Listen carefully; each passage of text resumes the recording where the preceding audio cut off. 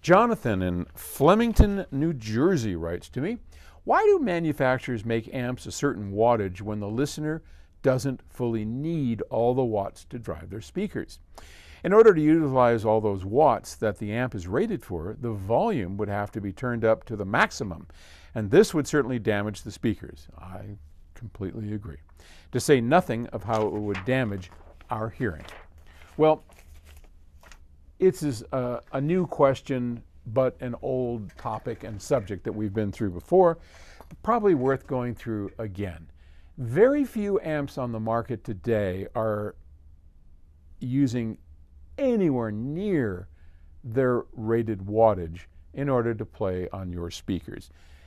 Take our amplifiers. We have, just take the Stellar line. You have the Stellar 300, you've got a 700 watt, you got a 1200 watt. Now those are monoblock amplifiers, the, the 7 and the 12. I just wrote a post about this uh, the other day. Somebody said, wait a minute, this doesn't make sense.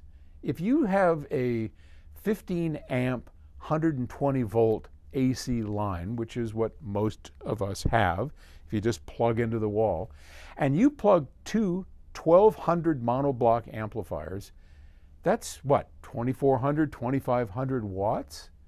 And if you just do 120 volts times 15 amps times volts equals watts, as we remember, you're what, 1800? What is that, 1800 watts?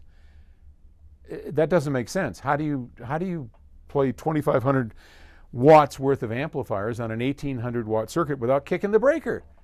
Well, because you're never ever getting even remotely close, excuse me, to the maximum wattage. So why do people like manufacturers like us build big amps? Headroom and linearity. So in any piece of electronics, there's a very small region that is linear, but without feedback, without anything. A true linear region that doesn't start going off like this into the weeds. And that 10%, 20%, depending on the circuit, and that's where you want, that's the sweet spot of the amplifier. Sometimes it's because we're into the Class A region, sometimes there's a whole bunch of different reasons. But the less we work an amplifier that's properly designed, the more ease and dynamic effortlessness we're going to get in our system.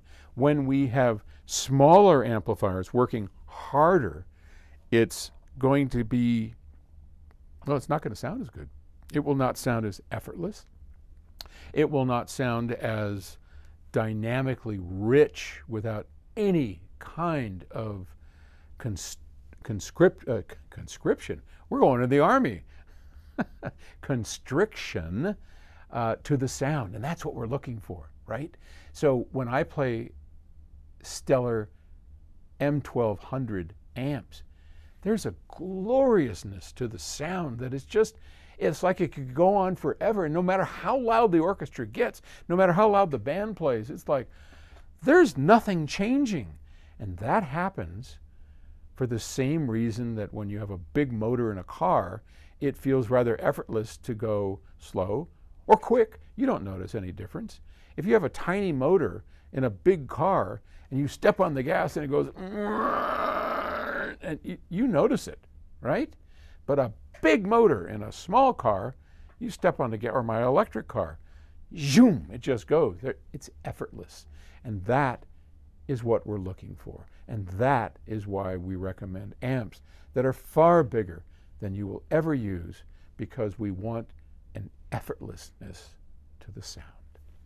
All right?